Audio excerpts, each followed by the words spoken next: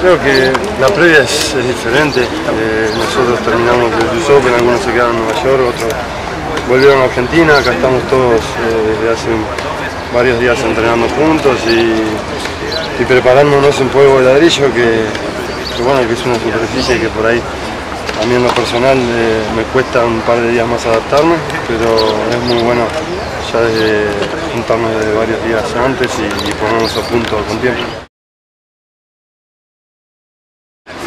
Yo imagino que va a ser lenta. Eh, creo que a Nadal no le gusta que sea lenta, le gusta que las pelotas piquen. A nosotros también, pero el polvo ladrillo va a ser lento, imagino. Eh, no sé si va a ser un clima frío o no. Eso también puede ayudar a, a, que la cancha sea más lenta, pero las condiciones las ponen ellos esta vez y nosotros vamos con tiempo para, para ver con qué nos encontramos y adaptarnos a eso. Todo. Creo que tengo que jugar el fin de semana de Serbia y hasta, un poco mejor también, porque si no, no, no va a alcanzar tanto yo como mis compañeros. Y, lo importante y el, objetivo que tenemos, además de, ganar la, la, serie, es llegar en condiciones, llegar preparados y al que le toque jugar estar en condiciones de hacer un, buen, un buen papel y, y entrar a jugar sabiendo se puede ganar, perder, pero sí estar preparado.